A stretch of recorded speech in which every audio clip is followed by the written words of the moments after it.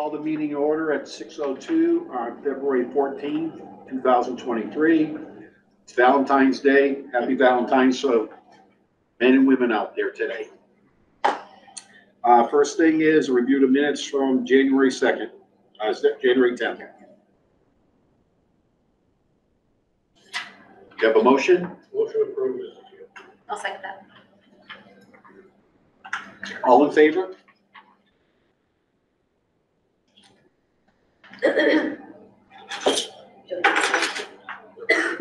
You're next. Oh. That's all right.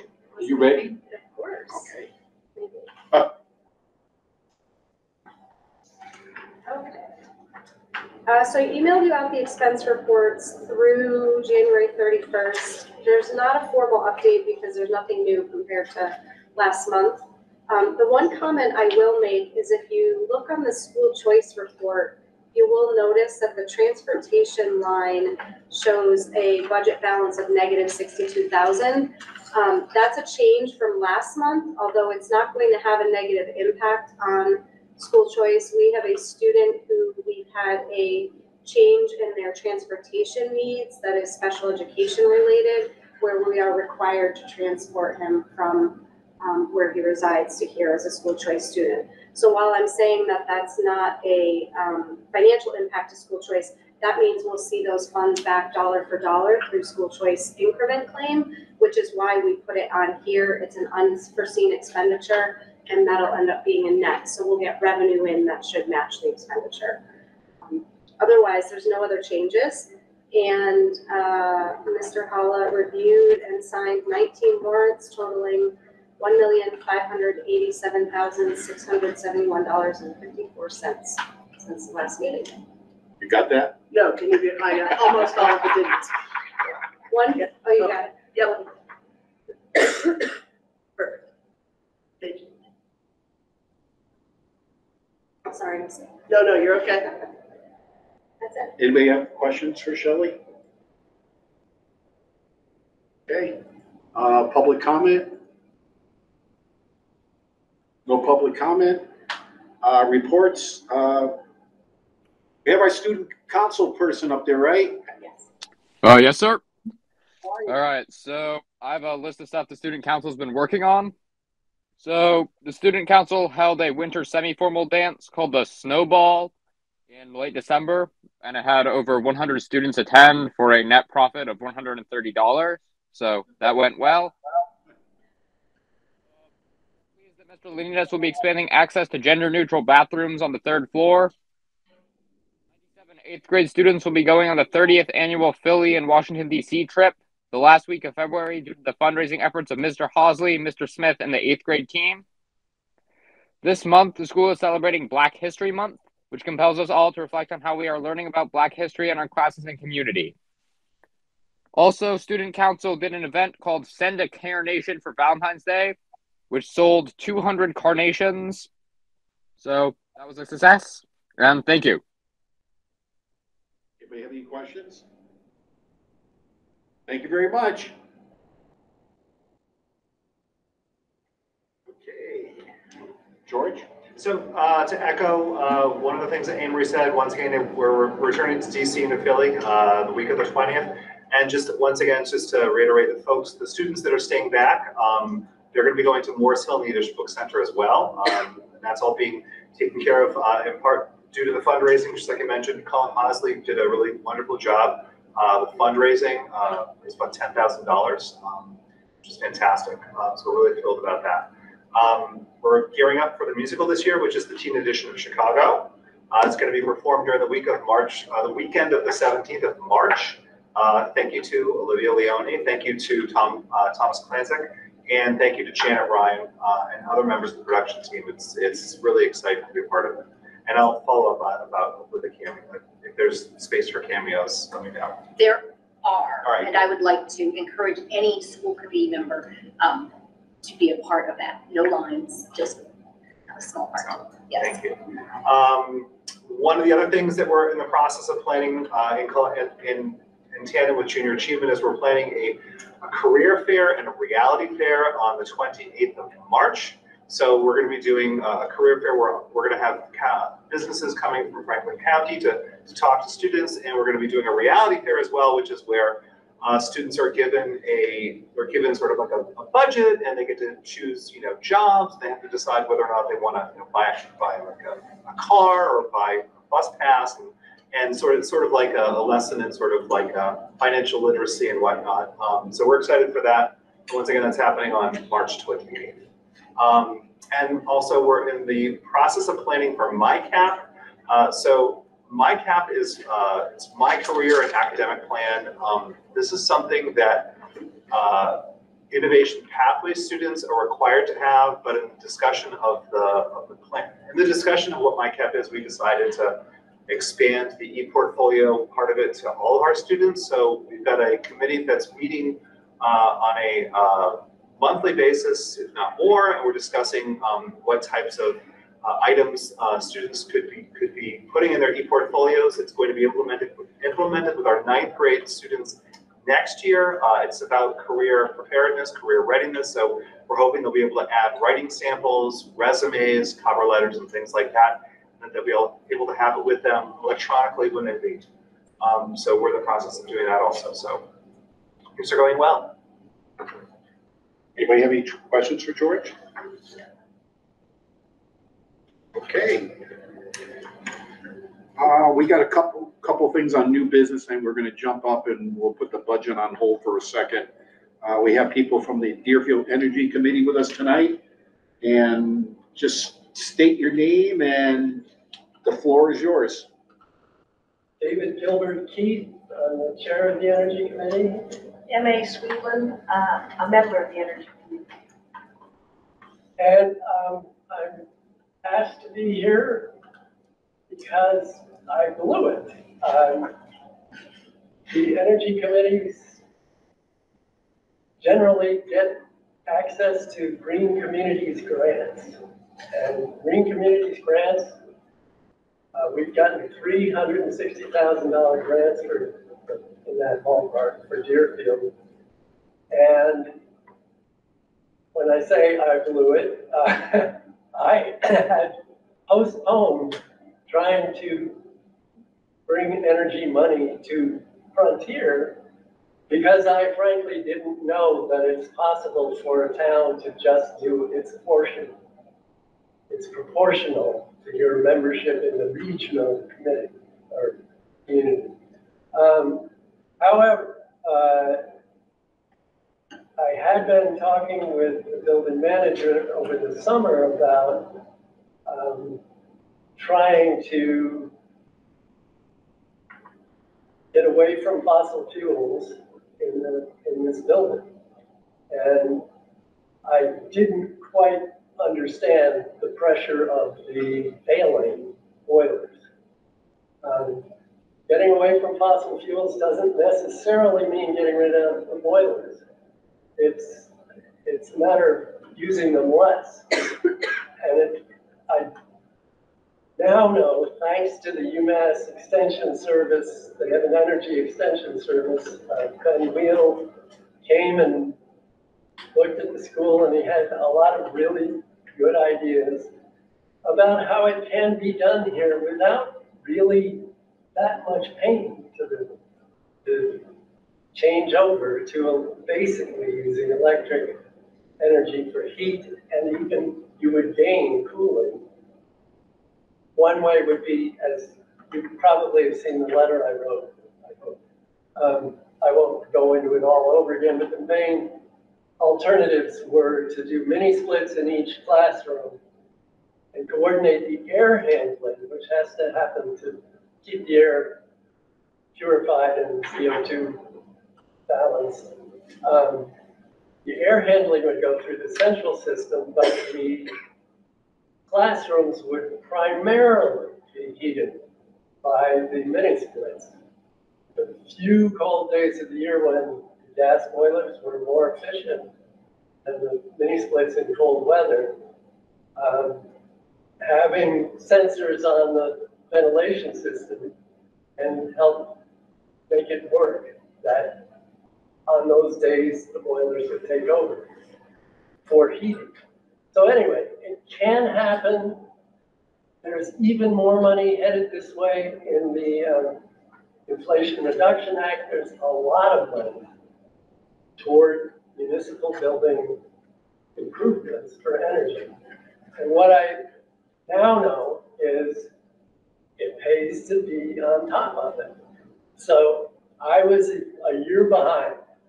And if, if we had another year, I think we could have paid for your new boilers, but, like we didn't. Um, Still can't have your money. We're very good. couldn't get the money for it.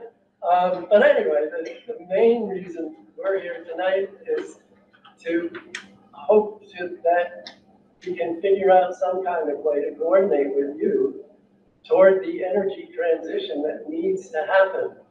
And Massachusetts is really leading the way on energy transition. And there is support. It won't cost a lot of money. It just needs preparation and applications to grants that are, will be available to make this work. So I'm hoping that we could coordinate with perhaps a capital improvements committee or somebody in the school committee toward, in the next ten years, cutting back the fossil fuel use to a bare minimum here at Frontier. As I don't actually have the numbers, but I'm pretty sure this is probably the biggest energy user in the town of Deerfield. Not, not private energy use, but municipal sense. Biggest building it should be. It's the biggest building it should be. It Yeah. is, That's right. And, and, um, so that's my pitch, is just, I hope that you can find a way to, um, work together toward getting off fossils and getting toward energy grants. Does that mean that, you know, if we want to put mini splits in every single room, is this something that you could help us with? The mini splits, that we already get a discount through Mass, is it Mass Save, correct me if I'm wrong? But Not to say, but Similar. Similar to that. Yes. And probably as much of the contribution would be, um, getting the, uh, sensors in the ventilation system that would coordinate with the central heat. Um, The alternative to mini splits would be, uh, like a, uh, central split, you know, air pump, uh, or even a geothermal pump. Um, That might be the best energy way to go, but by going with mini splits, people are throwing money at them right now.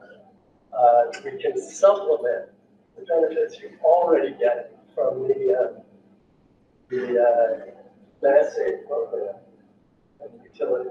Uh, we can add to that more actual cost. But having them work with the air handling is also an expense that has to be factored in. Do you know if our air air handling has those sensors already?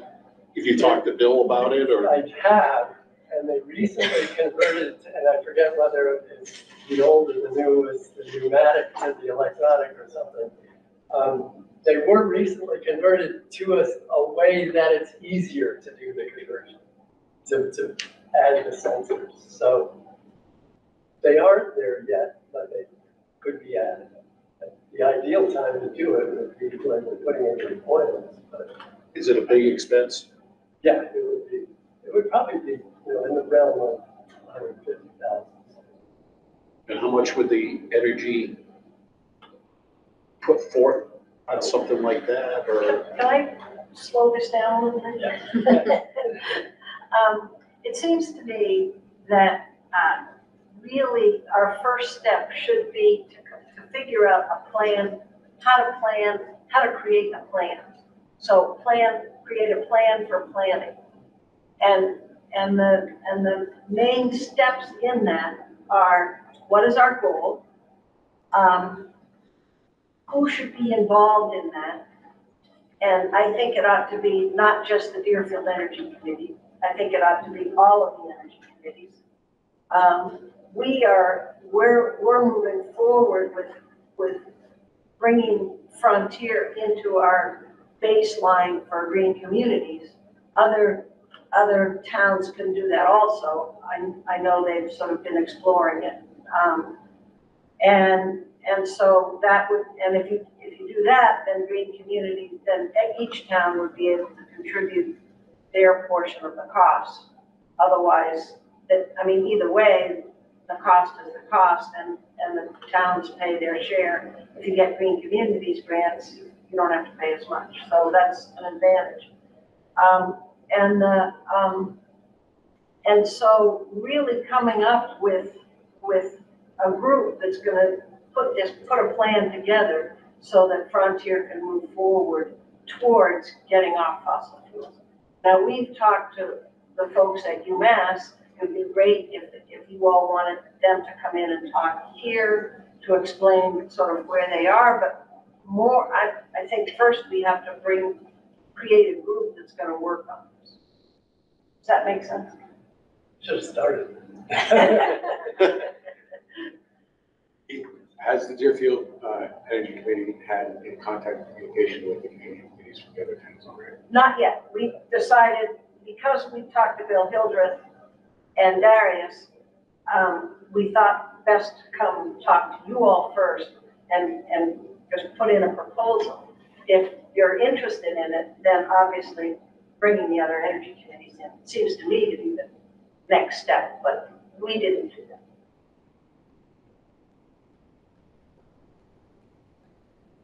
Anybody else have any questions? Like, I guess just kind of logistically, where does that put us with making decisions about moving forward with this? As far as the boiler is Yeah, concerned? I mean, I mean, I, I think we have to move forward. with that it doesn't change boiler. anything about, that's kind of what I'm, Yeah. But it seems to me that we, we put them in, but the possibility is that there's coordination between all four And they can towns be getting more grants efficient. that we could reduce the usage later on if if all of them.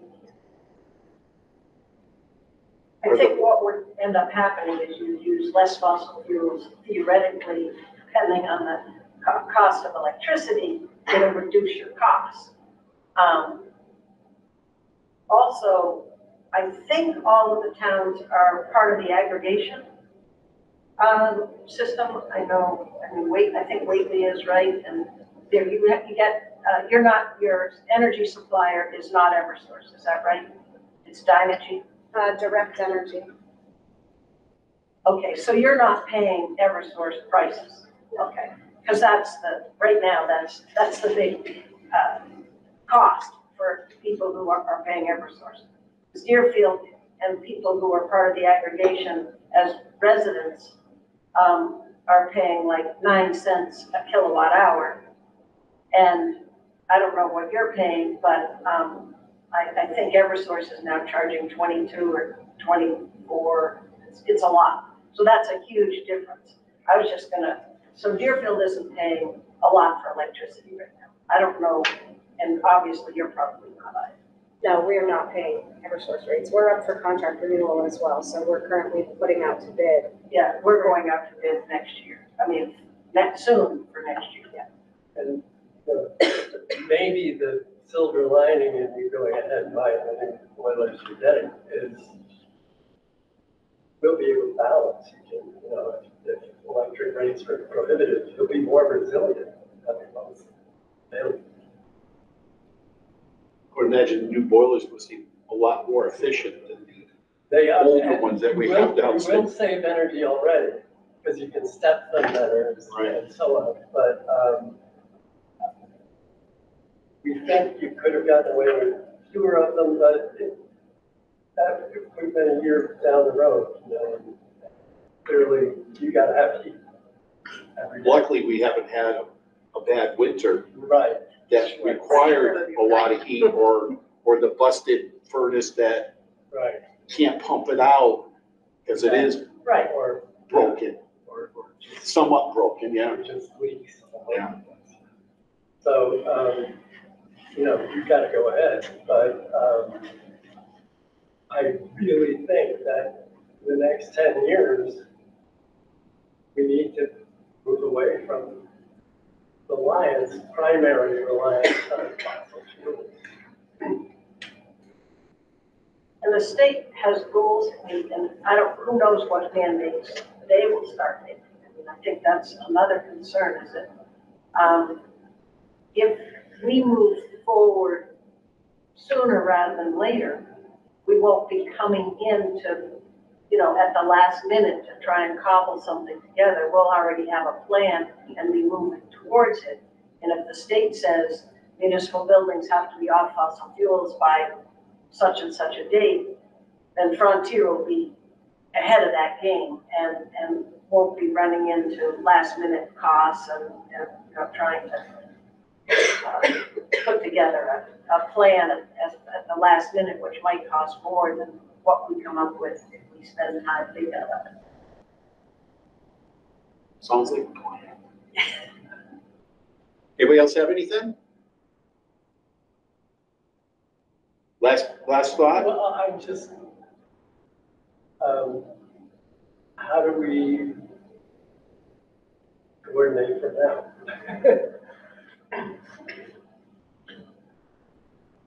I mean, ideally, you'd go to the capital. Yeah.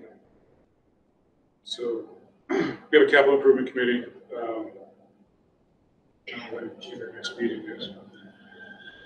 We Kind of just set things up for this, for this, it's not, the next meeting's not scheduled yet, because it, basically it works to this start of the year to get the capital plan in place for the spring meetings, um, town meetings and such. Um, but that's the committee that talks about the inner workings of what we're trying to put money towards and so on and so forth. Um, it also has select board members from each town on it. Um, If that's the appropriate one, or you create a separate subcommittee to deal with it. Something we can look at. You guys remember? I was thinking of having a coordinated effort from all four towns. Yeah, To the capital improvement committee would be probably the first logical step. So you, do you want us to reach out to the energy committees? Do you all want to do it? Well, since, since you know everybody from the other three towns, maybe, maybe that's the way to go, and then, you know, I'm not sure when our next meeting's gonna be, like, like Darius said, a lot of it's already been done for, for the town meetings coming up with the capital improvements and the warrant articles and stuff like that, so it's, we're already, we're, like you said, we're a year late, a little late to meet, you know, meet together for this type of meetings. I mean,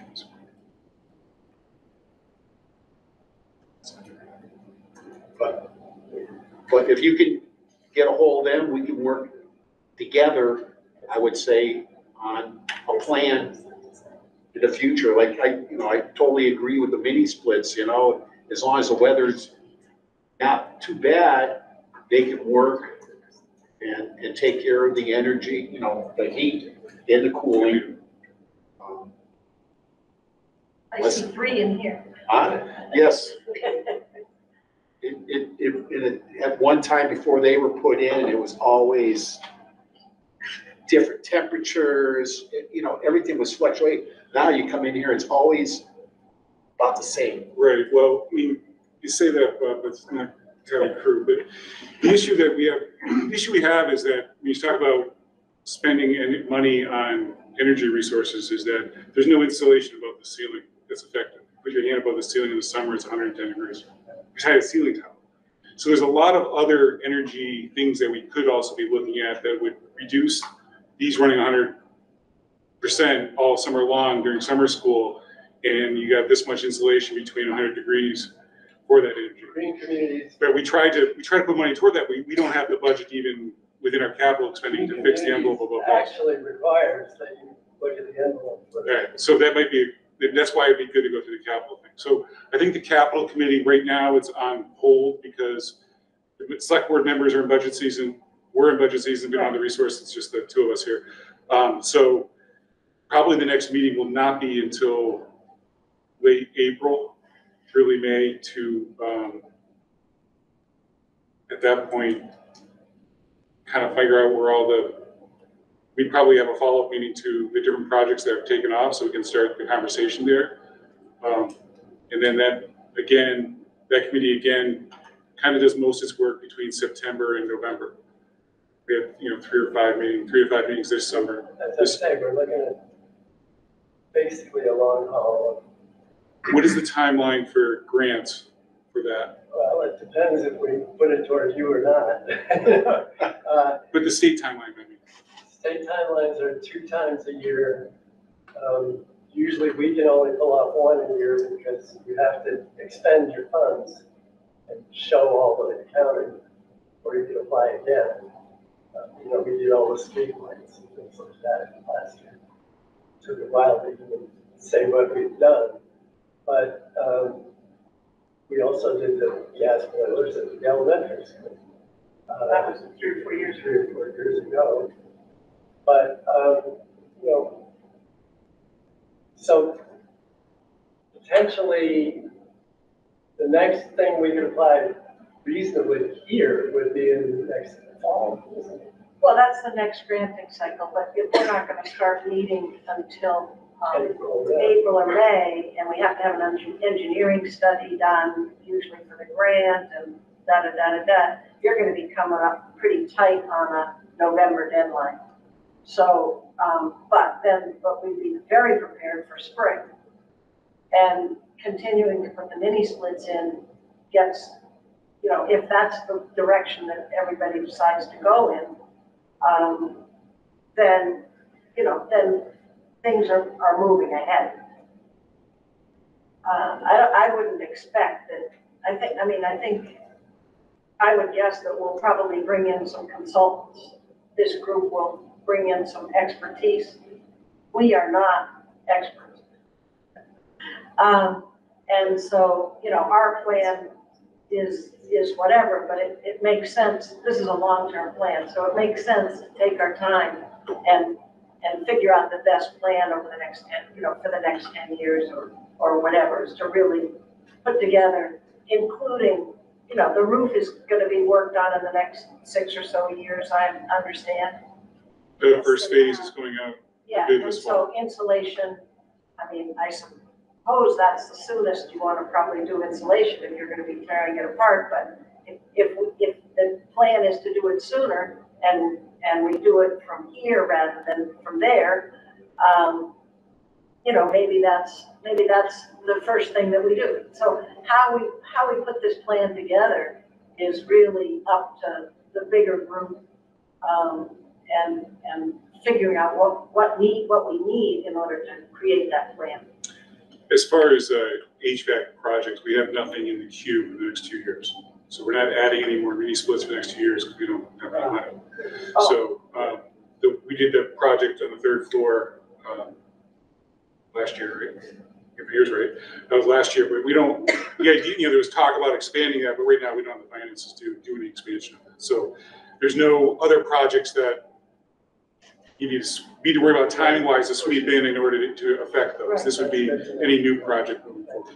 So maybe if, maybe if the other towns get signed up for green communities, it's, it's, it's a lot of data collecting. There's already been, well, um, we worked with FRCOG to put, to get all the data together for Frontier. So all of that work is done. There's been an energy audit, there's, Eversource came in and did, or actually, uh, one of their, um, contractors, thanks, uh, came in and did that, so that's been done. So the base, the basic work for collecting, for, for the towns to, um, get the, get onto the green, get Frontier onto their green communities has been done. And so assuming that they want to do that, then, you know, we, we could start applying for, um, H, well, you know, in, uh, energy efficiency stuff sooner rather than later. But Just to put it on the radar, there's a thing in the Inflation Reduction Act about solar on municipal and school buildings that would allow you to get the equivalent tax credit that a third-party contracting company putting solar on your roof would get from their tax credit. You can get that paid in cash back to you as an In the Even first, as that a would be in the public first school. year. Uh, it's good for the next ten years. No, but I mean, if that payment comes in the first Yeah, yeah. year of the investment. Pretty sure. Anyway, that, things are changing, so, you know. Well, we appreciate you coming and, and Who should Giving our us a little hint. contact person be? I'm just, Me, you, okay. yeah. Bob Nick. No, um, so, yeah, I'll be in contact for the spring meeting. Okay. I'll put you on the Um, agenda. Do you have our contact information or do you want to? Certainly got Definitely. mine. I have- Yeah, Okay. All right. So that's it. thank you. Thank you all. Yeah. Thank you all.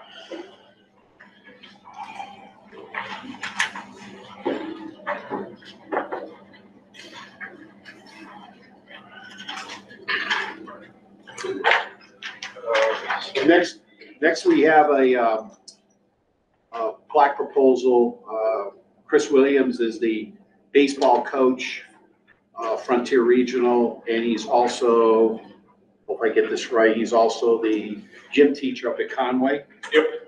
Uh, And, um, we have a person that has helped, um, baseball and football for years in Rich Walton, but I'll let, I'll let Chris take over and tell us what you want to do.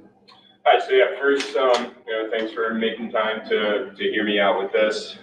Uh, Coach Walton, uh, he was somebody who passed away this past August. Uh, he started coaching at Frontier in two thousand, ended up continuing to coach through two thousand twelve.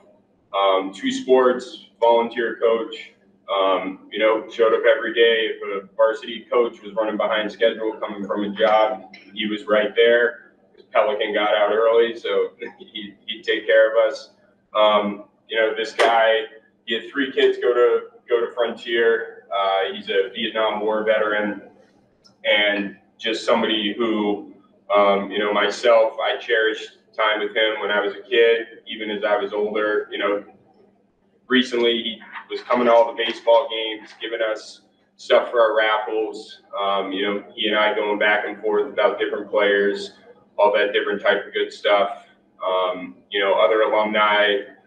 This is something, I mean, we were talking about trying to come up with something that we could do to honor him before we even knew he was sick. Because this is someone who, who did. They went above and beyond for, you know, 12 plus years uh, with two sports. And, you know, coaching one sport is a headache within itself. So um, he, he took it on. So we were thankful for that.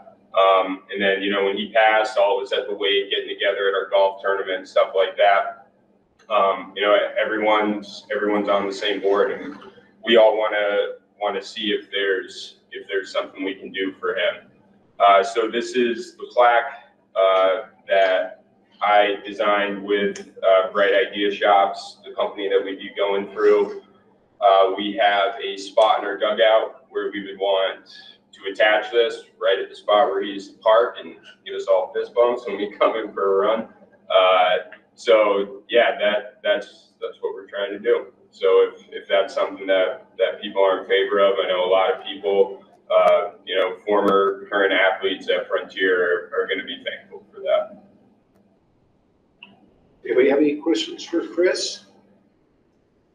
So I just making sure I understand. So it would be like in the dugout, this, you'll have this thing, it's gonna go right in there for all the baseball players. Yep. Is it so- ten by, is it ten by twelve? It is ten by twelve. 10 by I will 12. say we might make it ten by eight, depending on what will look better centered in the case that it were able to happen. I'd let the guy know to be flexible about that. But yeah, so if you're facing the dugout, um, you have the big opening and then there's, you know, the, the side of the building. And on this side, we have the flag of all the people who made the dugout happen back when. Um, and then on the other side, we were gonna put this plaque in honor of Coach Walton. And, um, correct me if I'm wrong, you, he's already raised the money, you can tell us approximately how much it's gonna cost, but you've already raised the money for the plaque also, correct? Yes, uh, so, yes, we have six hundred and twenty dollars, uh, for our quote. But yes, our baseball team, um, we have a booster club, so, uh, myself and the parents, we work together for all the, all the money that we're raising for this kind of stuff. Uh, so yeah, we would be, we would be taking, out taking care of it on our own, yes. So I'm just gonna bring up the uncomfortable side of these discussions that people don't usually bring forward, that our policy really goes forward and talks about that a school um, recognizing the death of student, staff member, prominent community member is deeply felt by the school committee as a as places designed primarily to support learning, school site should not serve as a main venue for permanent memorials. And so my, and so that's your policy, and, and you can overturn that, and that's why Chris is here tonight, but my only sort of caution on that is anybody who dedicates their life to students in this building deserves a plaque. And I don't know, I don't even know if I worked here, I didn't- I never got to know, um, this gentleman who, you know, helped out our teams and such, but, you know, we have people who, it's just something you have to consider that when do you say yes and when do you say no? Um, and, you know, basically you start setting precedent on those kind of things. And so, um, because this is a memorial it's not, there's not a donation connected to it, it's not, you know, you know, funding certain things, which is, you know, what we did when we do, um, you know, athletic field dedications and that kind of thing. Um, you know, that, so, I don't I just, I want to put that out there, and that's why it's here, not just being done in-house, because there has to be a checks and balances of, you know, there are other members of our community that we lost this year that we all can think of very quickly.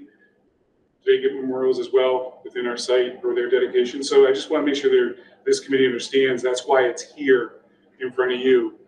And you're like, lot, Um, but, but that is why it's in front of you, because it does take, um, kind of, you know, a group of people to make that decision rather than one person who can be pulled one way or another by, um, the emotions of a, of a person's dedication to a district. So I just gotta, want to say that piece because it, So my thoughts. does anybody else have any questions for Chris or about the plaque or? I guess I would ask, um, the policy saying that past has been in the form of perpetual awards or scholarships. Um, Did group consider the possibility of going in that route?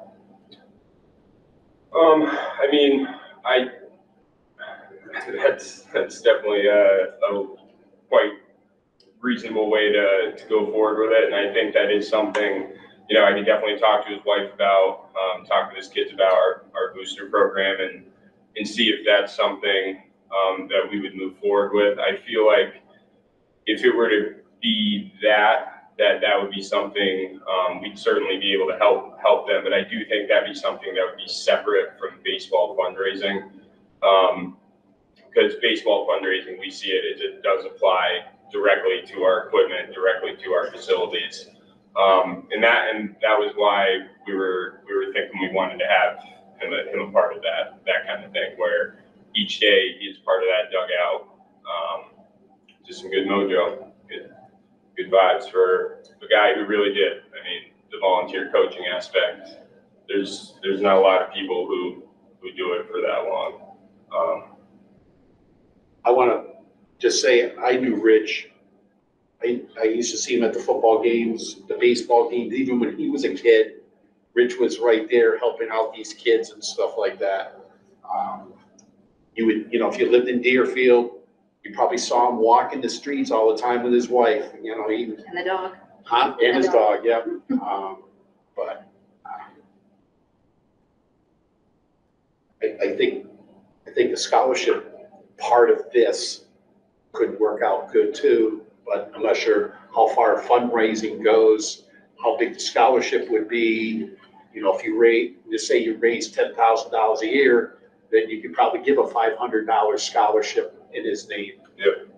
I just, I just threw a number out there, so. Yeah, yeah. And the other thing is, I guess, like, kind of just thinking about as you said it, like, that is an annual, um, thing that we would be organizing and all of that kind of thing, that that would be coming out of our budget annually, while it- this is something that it's a, you know, it's a one-time, one-time cost for us. type thing. Uh, do we have other memorial plaques around anywhere? We've done this before.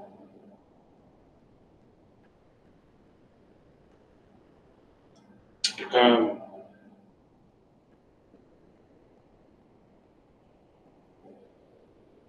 The library. Is Allison points out, it's the Free Drive Memorial Library.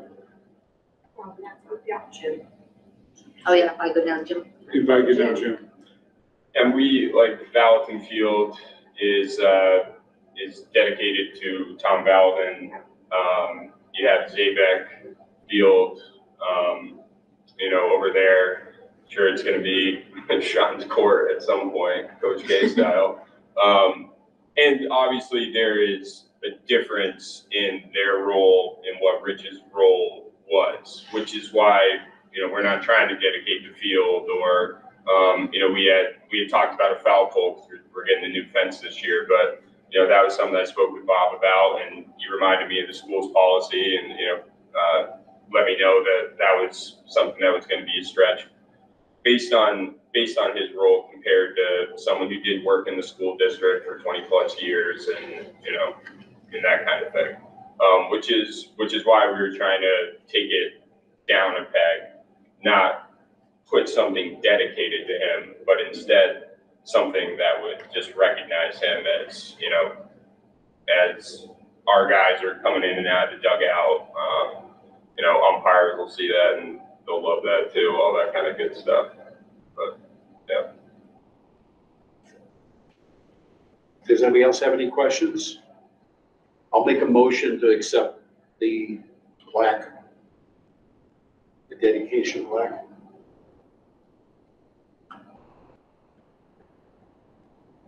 Can I ask a question or? Go ahead. have stop because you already said something? Nope, go ahead. So if a scholarship or what our bylaws and our, our policy is, is to have something that's more, that is not a, you know, physical plaque sort of thing. Um, I, I understand that it might be something that then every year people have to get together and remember Rich. I mean, he had a huge impact on my life all growing up. He was my next door neighbor my entire life. And so, um, so I definitely like get it. I super want to honor him. Um, and I, you know, I, know you put a lot of work into this. I'm not trying to like second guess you at all. Um, but you know, as someone from the community, you know, I would be someone who could be hit up every year. You know what I mean? To come together to remember him, to create some sort of scholarship for a baseball player, Yeah. or something like that. Um, so maybe just thinking of you know something like that if that's what our policy has, because I, I really think he was a huge, not just a member of the school and the coaching staff, but he impacted kids everywhere. I mean, our whole neighborhood, like really, he was just an amazing, amazing person. Um, and I, um, I, I think he'd be honored that you were wanting to do this. Thank you. Yeah, I, I did not know Rich, and I'm operating within the, the language of the memorial, permanent memorials of the schools shall form professional scholarships award. Is there a way that, um, an award can be made in his honor to a baseball player at the end of the season? So it's not the financial burden of having to fundraise every year. You could give out a placard, what he stood for, for a particular player every year. Yes, that is something, um, you know, when I was speaking with alumni boosters, um, you know, just kind of our, our circle of, I mean, we have a big circle now because we do a lot of fundraising. But, um, when I was communicating with those people, that was, that was something that we, that we spoke about and something that we will definitely be, um, considering exactly what we want it to stand for. Um, when we, when we are giving that award, but yes, we are definitely going to be, um, considering that moving forward. Be interested in that as well. I, I think that that'd be the, the middle that I want to recommend. Yeah, I'll admit it, it- I so want to support this. I, I love sports and I love the impact that coaches put on, on kids. But I also am a little leery of the precedent set and moving forward. And where we then draw the line. You know, We've had many individuals, sports, um, academic, teachers, staff. And I don't know then how to curtail that moving forward. Other than just having a meeting every time someone comes in and just make vote on it. And I think it's, it's easy to say yes to everything. It, it's just, it's, it's an awkward, it's an awkward position. Billy, you have anything to say? You're awful quiet. Yeah, you knew Rich. My only i- concern is, is much the same as, as Damien's. I, a line, there will be a line anymore. There won't be a line anymore. And I don't mean that in a bad way at all. It, it's, how, how do you measure any one person's performance to a particular sport, group, club? You know, it, it's, it's really hard to do that. We, we, we have to have a wall as big as that wall to put them all on there because, and I'm not selling short anybody's, anybody's achievements in any, in any, but you could think of, you could think of them off the of and so can I. I went to school here in the seventies and I've been here ever since. You I could come up with 10 10 people in a minute. You know, that you'd love to honor, but you have, you have the policy for a reason. And it's not to be cold-hearted, it's not trying to ignore anybody's achievements or anybody's contributions. But it's, it's, it's a common sense thing. You look through a lot of those policies. That's, that's what they're made. For, to take the heart out of these situations, to go, look, here's the policy. Unless you want to vote to change the policy, this is what it says. And easiest way to keep yourself from getting jammed up is to, um, Okay? Since I, since I, go ahead, Mary. I was, I was just gonna say, I, I agree with Bill, but I have a huge appreciation for thought that you put into it and finding something in proportion to the contribution, like you, you didn't ask to have a field named or, um, it was very thoughtful, thoughtful way to honor it. it seems like a minor thing, you know, take the I know, flag, you just little. tack it up on the corner of the dugout, it seems like no big deal, but you have to, you really do have to step back and look at the big picture. You know, think of the bigger picture. So if I don't have a second for, for the plaque, so I'm not sure what my next step is if there's not a second. I mean, Well, Second, the vote doesn't move forward, so it dies. you can't,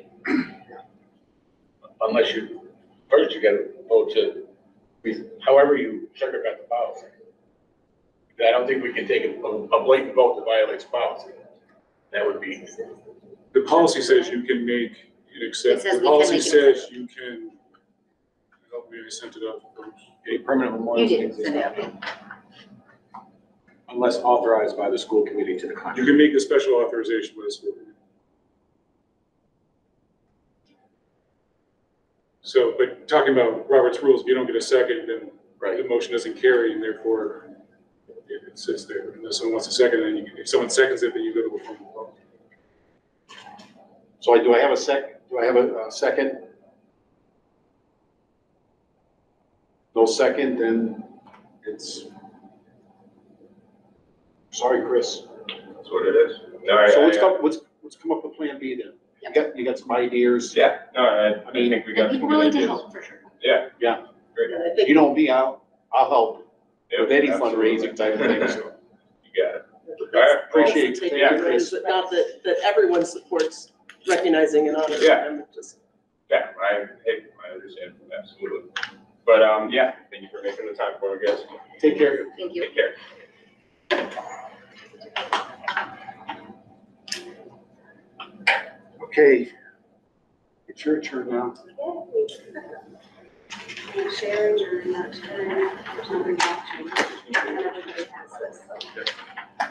All right, so I sent you out, uh, the full budget summary. Um, subcommittee has, what? Mary Lavinia gave me a tired face and I just smiled at her. It doesn't feel very good. Sorry. No, that doesn't feel, doesn't feel good at all. No. Sorry, Shelley. That's okay, we can take a moment. Everyone's human. All right. Okay? All right, so Budget Subcommittee has met twice now. Uh, we met in January.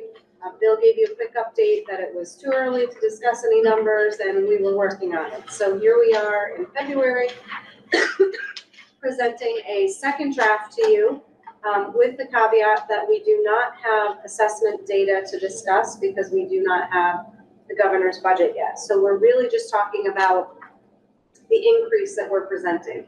Um, and because this is the first time school committee is hearing this, and for, um, our limited public that's here, I'll go through the whole beginning to end of the presentation. Um, you can stop me if I'm going too fast, or if you have questions as we go, and then we'll definitely come back to questions in the end. Um, so when we start building the budget, uh, we take into consideration a needs-based, student-centered approach while being fiscally responsible. Um, input is taken from principal as well as other administrators, so facilities director, IT, uh, Darius, myself, anyone who's sort of in that um, higher level administrative role to make sure that we have all of the expenses met uh, for the coming year. Uh, We start with level service, but we also look at new initiatives. So level, level service means that we're replicating our existing staffing and existing programs. It does not mean level funding, however, because we take into consideration COLA, um, changes for inflation, things like that. Um, But we do look at existing programs and staffing and then consider new needs and initiatives. Um, one thing that I think is important to know as we go through this process is what that percentage point is, because we're always talking about, you know, can we be under three percent? Are we gonna be at five percent? So what does that one percentage point mean for Frontier? One percent of last year's budget is about hundred and twenty-two thousand. So that first step for level services, um, is to really look at wages. So we build in any wage increase for contractual obligations, so IAs and teachers, we start there. Then we look at school-based staff, so uh, principal's office, secretaries, custodians, cafeteria staff, and then final central, finally, central office. Uh, Those folks are not on contracts necessarily, um, in the same way that teachers and IAs are, but we do uh, factor in a wage increase for them.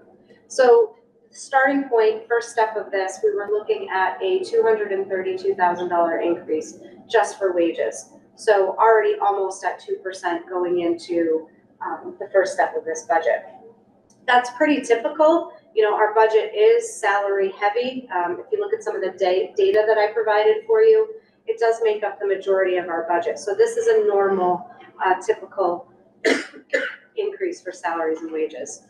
Um, then we look at expense accounts. So I look at prior year history, go over three years with any directors that are responsible for various departments. Uh, we consider what we know for inflation, so items such as um, transportation costs, our out-of-district placements, uh, increase to insurances, uh, increase to our retirement assessment, and then we also look at facilities expenses. So the initial draft of the budget presented an additional hundred and eighty-two thousand dollars for non-salary expenditures. Excuse me. Uh, Again, that is not new initiatives, that is just covering our needs for the budget. So for the out-of-district placement, we are seeing an increase due to uh, what the state passed for the inflation rate for private programs. We will see some of that funding back in circuit breaker in future years, so it's not a full expense to us um, in the future. The current year budget, we will see that hit. Uh, And then we have a fifty-five thousand dollar increase for our Franklin Regional Retirement Assessment. And then a twenty-seven thousand dollar increase for facilities expenses. That would cover line items that are currently over in the budget. So if you look at the expense report I sent you year-to-date for the current year, if you look at the water and sewer line, you'll see that that account is already overexpended. That is a multiple year deficit that we've had in the water and sewer line. So I am asking school committee to right-side these accounts in this first draft of the budget and bring the funding where it should be. Um, so that's a summary of those expenditures there for non-salary increases. Uh, then we look at other budget drivers related to special, special education, so specialized transportation, transportation, um, and additional out-of-district placements that might be coming up. Uh, we were, we will be seeing a seventeen thousand dollar increase for transportation costs for special education next year. Next, we look at revolving funds and grant revenues, so we want to make sure that any grant that we fund uh, salaries or non-salary expenditures and any revolving fund that we help offset the budget with has the revenue coming in to cover the expenses from the prior year. There will be no impact due to revolving funds or grant funds um, for next school year. Uh, so we will be able to fund all of our existing expenditures for revolving and grants. And uh, the last step of the process is to look at new initiatives. So uh, this comes again from senior administrative staff who say, uh, you know, if we could have everything that we want and need next year, these would be new initiatives that we're looking for. Um, so there were the addition of two new IAs added into the first draft of the budget based on student need, as well as a school adjustment counselor. What I want to make a note of with a school adjustment counselor is you've heard about this position already. It's a position that we added for the current fiscal year. We had originally planned to cover that with a grant. We were going to use ESSER money. Um, but we're now putting it on budget because of other savings from leave of absences and then some other expense lines um, that have freed up funds there. So for next year, it is a true hit to the general fund.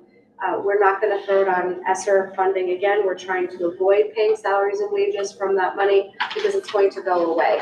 So we need to absorb it into the budget.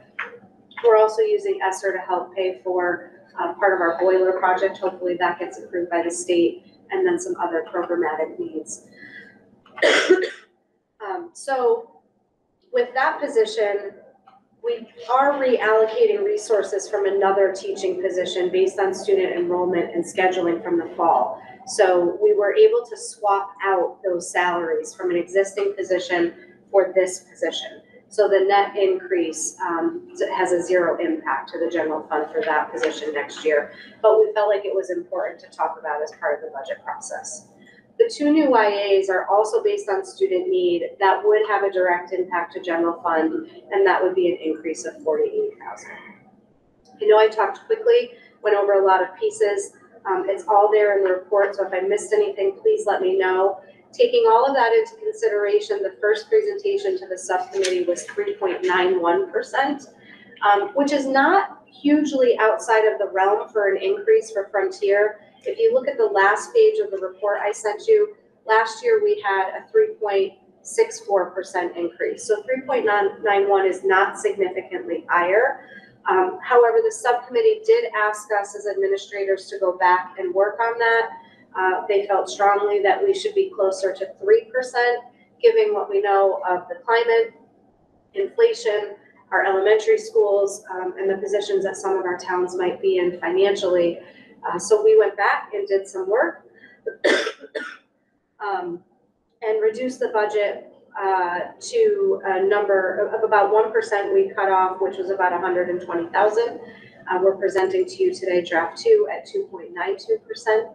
To get to that point, we eliminated seventy-three thousand in non-salary expense increases. So all of those pieces I just talked about, Darius is laughing because this sort of sometimes seems silly to go through this process where we're adding and then taking it away. Um, sorry, I have been coughing for six weeks, so bear with me for a minute.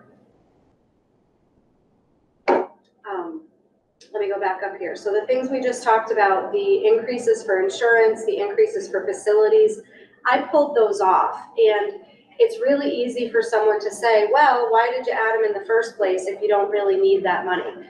We do need that money. Our budget lines are overdrawn. we have historically been able to find funds to cover those expenses. Um, substitute teacher line is a perfect example. It's very rare to find subs coming in that are not within our own building right now. So if we're not spending all of that sub line, we can reallocate it to cover the water bill that put us over ten thousand dollars. We've done that for several years with these expenses. It, this is not the right way to go about budgeting. We really should fund our lines properly. However, we recognize that if we wanna bring the budget down, outside of cutting positions or programming, you have to crunch some of these non-salary expenditures. So we pulled those pieces back out. You'll probably hear me present again next year that we need to add them back in. Um, and if it were a perfect world, we would keep them in there. Same thing with the IAs. Uh, we do need those positions, and I certainly defer to George to, to talk about them further. But, uh, we met administratively and said we cannot afford an increase of fifty thousand dollars plus benefits on this budget. Something has to go. That doesn't mean that we won't hire two IAs. It means that we may have to be creative administratively and again, reallocate funds just like we did with the uh, school adjustment counselor position. So those things might still come into play. Um, They're all really important pieces. Uh, One final part of the seventy-three thousand for non-salary expenses is I went through line by line and looked at every budget number in there, which we have hundreds of accounts. If an account had, uh, for multiple years, five hundred dollars remaining in the balance, I pulled that off. Another line had thousand dollars remaining, I pulled that off to get us a twenty-five thousand dollar cut from the budget. Again, not the proper way to do this. We're cutting any cushion that we have in those lines, and they're all important lines. It's just that maybe one year we ordered less toilet paper than the prior year, you know, and, and that's the cost of, of doing business right now. If inflation is high, we really could need that five There's, hundred dollars. there's plenty of toilet. paper. There's no need for any panic. Stop the basement. We need a stockpile. No, we're not stockpiling toilet paper. Um, so this is not the way that we're comfortable presenting and creating a budget. We really shouldn't be shaving off our expenditures in this way. Uh, but in order to cut hundred and twenty thousand, the only other option is staffing, and you're talking about at hundred and twenty thousand, you know, if average salary is sixty-five to seventy, you're potentially looking at two teaching positions, which you know, I don't think anybody in this room wants to do unless we're absolutely in a budget um, crisis. And we don't feel like we're there right now. So we took other avenues uh, to bring that number down. So our overall budget at two point nine two percent will come in, uh, if, if this goes through um, public hearing and then final budget approval, uh, twelve million, five hundred ninety-five thousand, two hundred one dollars. And then we will use revolving funds and grant money to fund another roughly million dollars. So our budget will be at about thirteen and a half million overall. Um, to kind of rewind a little bit. Yeah. Um, Please. so the proposal we're looking at is three point six four, but the meeting, I assume that just happened right before this meeting is what kind of No, brought it you're down? looking at two point nine two. The three point six four is FY twenty-three, Twenty-three. which is the current year we're in. Got it. So to go, and then the original budget you guys came up with for twenty-four was three point Nine one. nine one.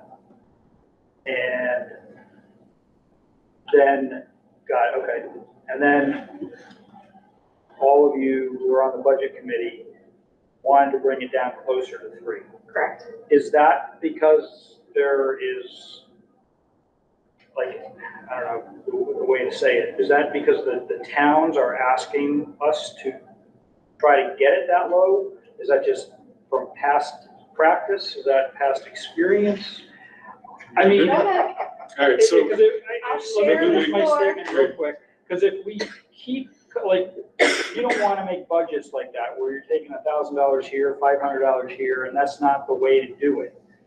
I would assume at some point, this is going to catch up to us, and then we're gonna be coming up with a budget that's five percent. And then the town is going to look at it and go, oh my God, why did you go from three to five? Like, like, right, if the best budget to have is three point nine one, why not we propose three point nine one? so the best budget to have is two point five.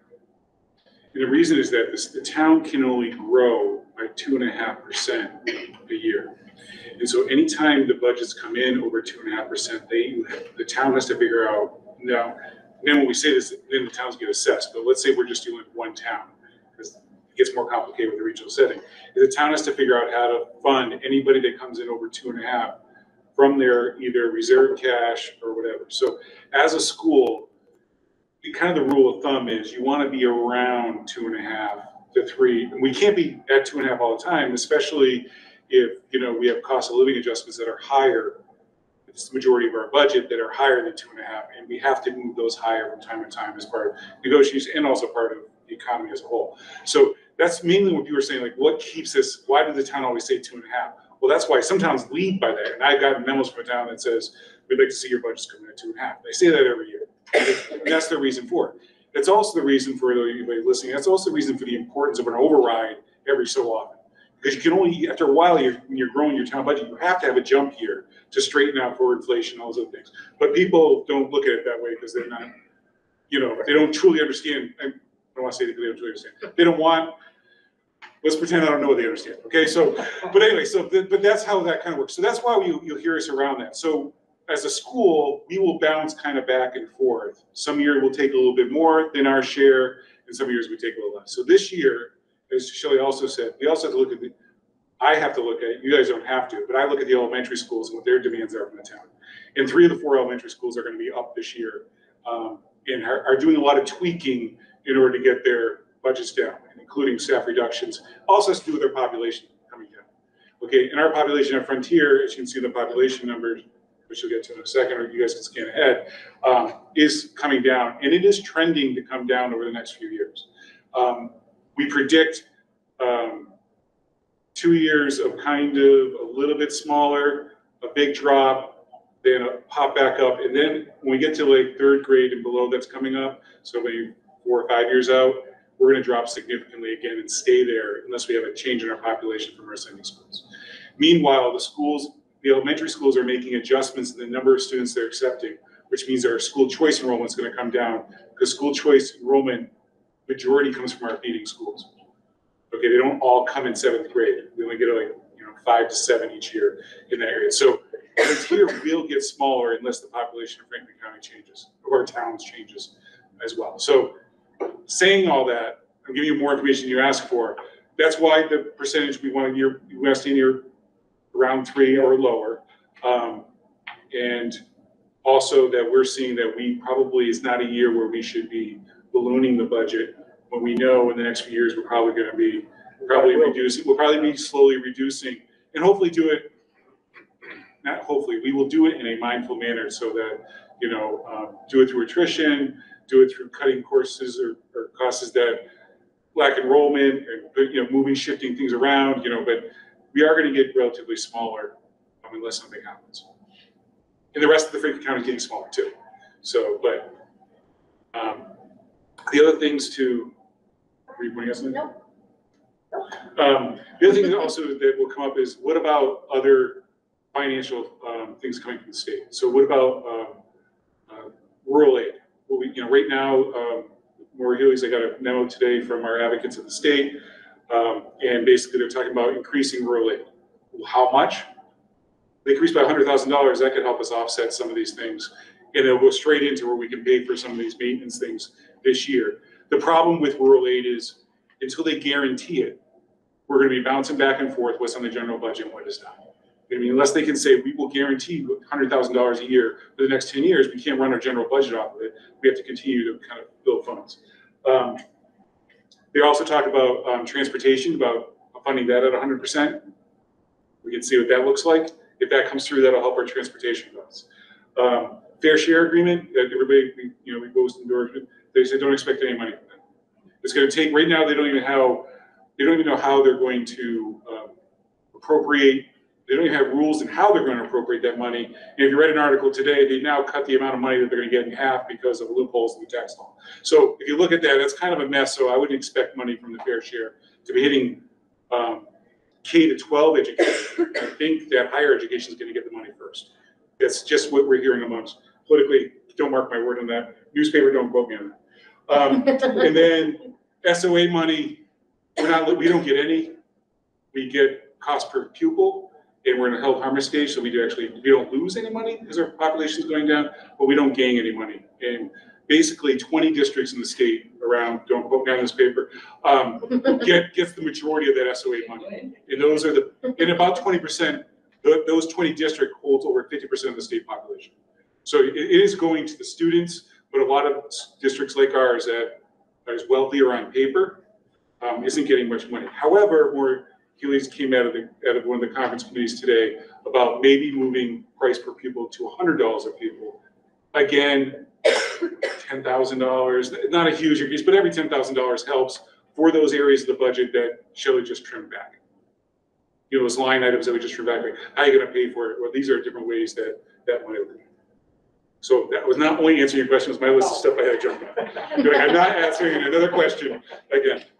No, it's a really good question, and I think subcommittee had this conversation last year because three point six four is a little bit on the higher side still for what our twenty-three budget was. And when you look at it in the grand scheme of things, hundred and twenty thousand based on the four-way cost share percentage in the assessment is, it's little impact. That's why I propose it, why not just go? But the 3.9? optics of it, I think, is part of what we have to be aware of as well, that, you know, if, if our towns are saying, you know, the schools are 60, 70 percent of our budget, and you're taking away from all of these other departments, while we have to advocate and fight for what we need and want, we also have to be mindful of those other pieces while being fiscally responsible, so striking a balance. But I also throw out there, I talked with the authority at Tabor, it's not my decision.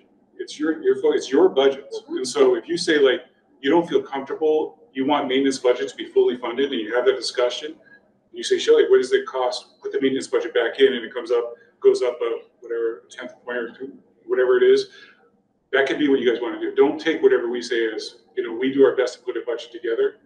Um, After you do it for a few years, you understand all the moving parts, it makes it a lot easier. And that's also our budget subcommittee's been doing it for a few years, so they, they're quickly, they're jumping on like, oh, they understand what the different things are, but feel free to ask questions or disagree with our priorities may not be where your priorities are, so I I know you may already know that, but I'm gonna definitely want to say that out there because.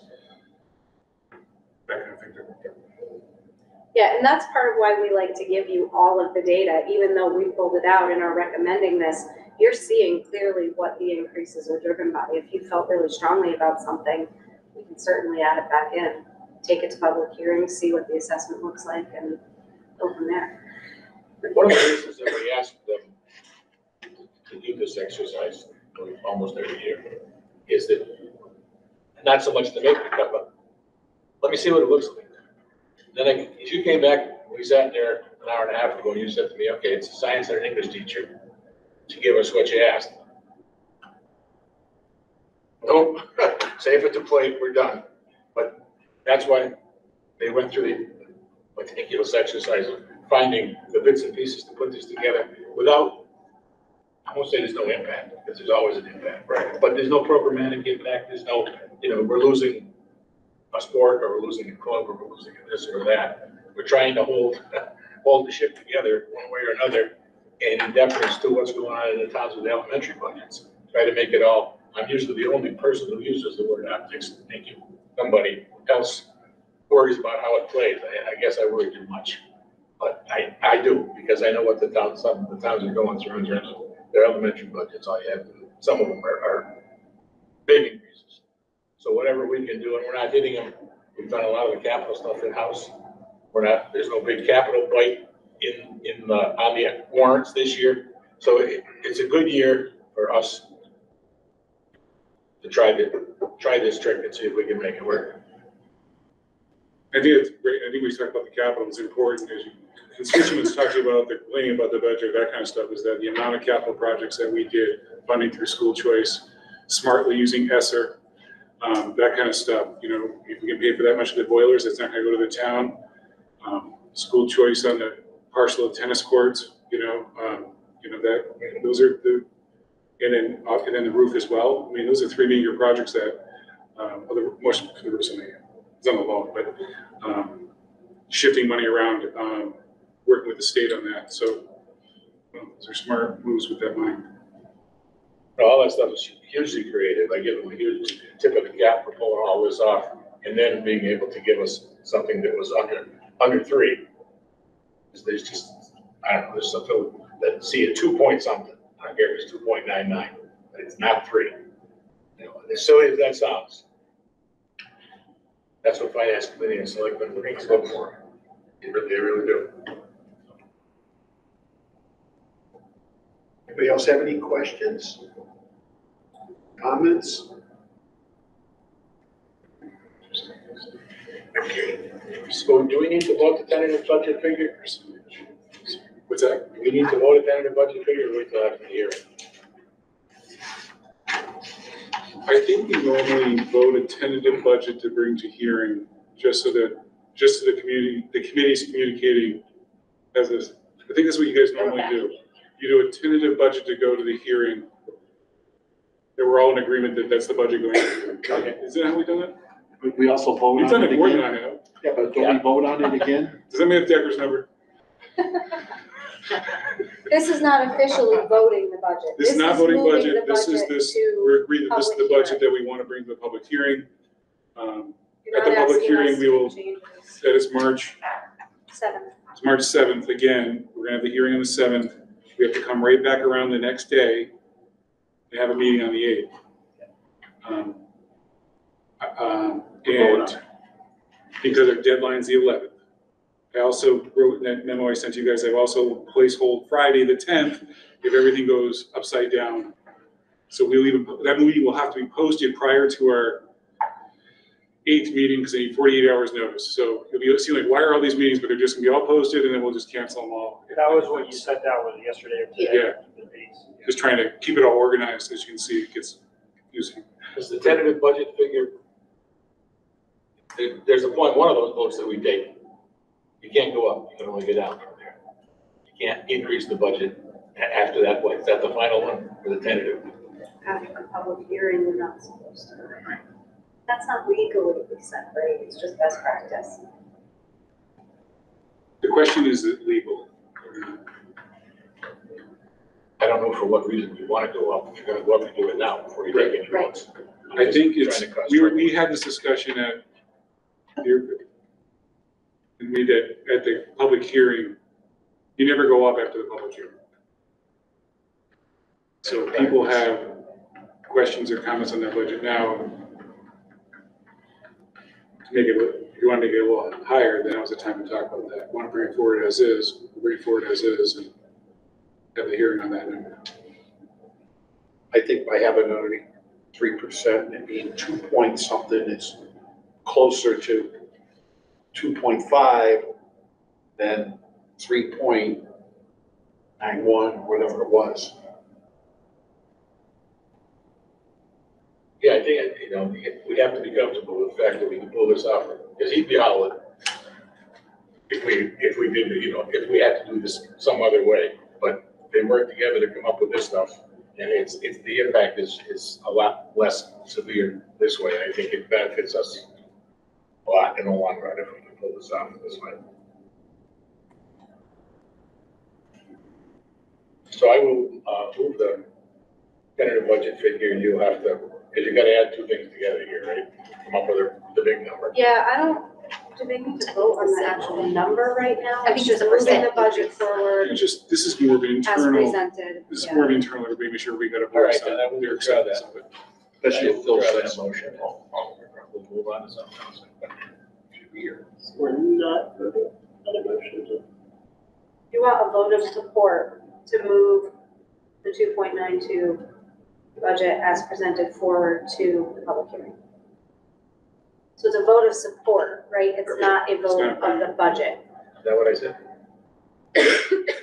You say support the draft. of Something. Oh, yeah. Put the word draft in I'll there, second I'll clean it all up. Maybe we'll get it right. We'll give her all the artistic license that she needs to make it sound like it's. You have no idea what I'm writing. So we have a first and a second. Any other discussion? All in favor? So moved? She's writing like Bill said with a sigh. He rolled his eyes at that. It's very colorful. I have nothing. Lynn's not here for the collaborative, so it's up to the big guy. Do You have anything for us? Other than what you've talked about already? Um, yeah, you know what, um, the, you should have gotten, all gotten the sign-up sheet if you're interested in meeting with the, um, the exec, oh my God, sorry, um, the, uh, equity audit, thank you. Um, if none of those times work, let me know, because we can also squeeze you in, especially during the day at different times. Um, or you can go to the parent thing at night. That's been sent out, but if, um, you don't pick the time she sent you, I think she wrote that in her, um, email to you all to just reach out. Um, also, the, I sent out today, I had met with, um, Ken and Bob, we were talking about the Union thirty-eight agreement, the Frontier, right now it's bouncing back and forth with their attorney. Um, and in that came the evaluation, asked, can we move the evaluation process up to be- be done at the joint meeting? And so we went, to- I went to the first meeting in Sunderland and was reminded by a Sunderland member, um, she was here, she left, Jessica reminded me that, um, being in my fourth year, I don't need to be evaluated after the first three years, you can go on a two-year cycle. And so I went back to Bob and, um, Ken about, want to do a two-year cycle, and they're looking for approval from all the committees to do that, which is an awkward way to do it, because I'm going to each committee saying that, but basically, after, it's the same as teachers, after you get professional status, which technically I have after three years, I I technically don't have professional status because it doesn't work in administrative things, but they allow you to go on a two-year cycle for evaluation. Um, Also, within my contract, it allows it as long as we mutually agree following the state law. So that was the back and forth we had. So awkwardly, I bring that to you for discussion whether or not you want to do the evaluation or not. Um, Started putting it together, so If it's not on the agenda, do we still vote on it? Can we, can we still vote on it?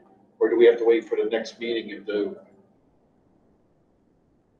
You know, the other ones just said they agreed with you. Somebody want to make it? But can you, it wasn't on the agenda, so I don't. All right, so I put it on the agenda. Yeah, Get yourself. just to, I guess I would just question, are we, would we be putting two things on there? One to move up the timeline and uh, the other to move to a two-year cycle, or? I think you would be just agreeing to do the two-year cycle for the superintendent's agenda, I mean, uh, evaluation. have you heard anything from the lawyer on what you sent them yet? Oh, regarding the Union thirty-eight.